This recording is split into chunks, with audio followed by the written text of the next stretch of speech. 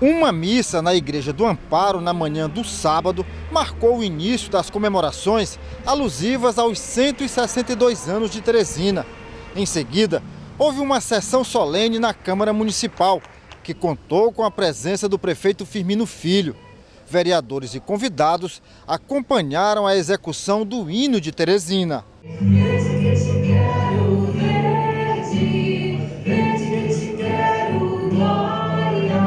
O presidente do Legislativo Municipal anunciou a palestra do advogado e jornalista Pedro Alcântara do Nascimento. Pedro Alcântara destacou o papel e a importância de José Antônio Saraiva, que se notabilizou por transferir a capital de Oeiras para Teresina. Ele desceu o Rio, não gostou do que viu nem a Amarante nem a e chegou aqui, na Vila Nova do Puti.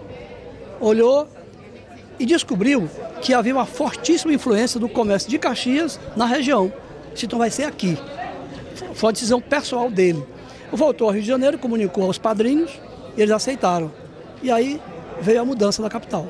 É importante aprendermos com as histórias contadas por ele, é importante ouvirmos as circunstâncias vivenciadas por ele, para que nós possamos acertar ainda mais é, na condução da Câmara Municipal de Teresina e na condução de representar bem o povo. O prefeito Firmino Filho falou sobre os presentes que gostaria de ter dado à capital, mas que não pôde dar ainda. Não fiz ainda uma grande biblioteca na cidade, então para mim é, é, é, é, um presente que eu não pude dar para a cidade. É, fechar, garantir né, creche para toda a meninada de seis meses a, dois anos, quer dizer, uma coisa que ele está trabalhando ainda, mas ele está distante. Ele avaliou a reengenharia política após a morte de Eduardo Campos. A Marina, ela já tinha inicialmente um, um pontapé inicial maior do que o do Eduardo, né?